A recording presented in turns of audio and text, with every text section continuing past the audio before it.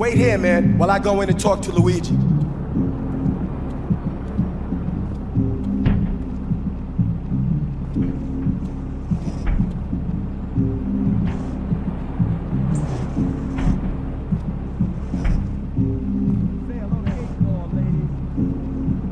Eight Ball's got some business upstairs. Or maybe you could do me a favor. One of my girls needs a ride, so grab a car and pick up Misty from the clinic, then bring her back here. Remember, no one messes with my girls.